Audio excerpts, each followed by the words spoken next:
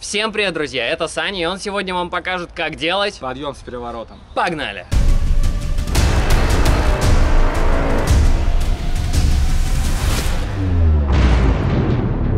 Друзья, чтобы сделать подъем с переворотом, вам первоначально нужно залезть на турник.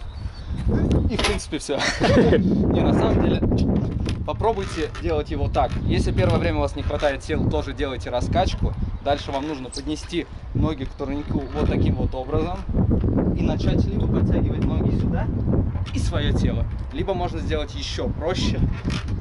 Это сначала подтянуться, потом вот так закинуть ноги. То есть это два варианта выхода на подъем с Окей, ну короче, это два варианта подъема с переворотом. Делайте тот, который вам нравится, в зависимости от ваших сил. Кому-то больше нравится сначала подтянуться, а потом закинуть ноги, а кому-то сначала закинуть ноги, а потом начать подтягиваться.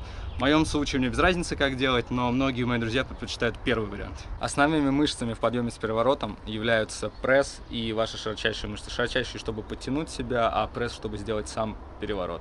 Также в конце, когда вы будете в упоре, у вас будет немножко задействоваться трицепс и грудь.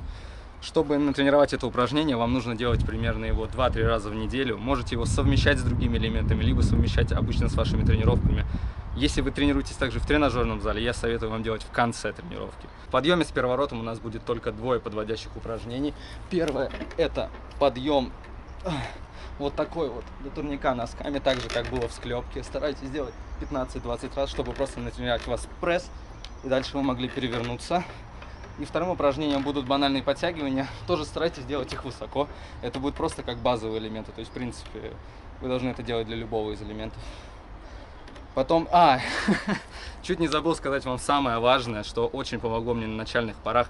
В тот момент, когда вы начинаете закидывать ноги, закиньте также голову назад вот таким образом. То есть вы подтягиваетесь вот так закидываете голову, и вам уже легче перенести ваш корпус. Поэтому используйте этот секрет, и у вас будет очень хороший подъем переворота. В принципе, все, ребят.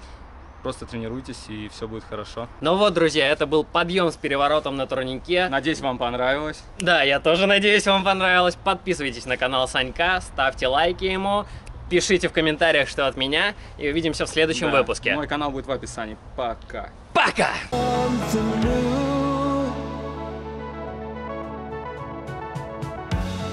Keep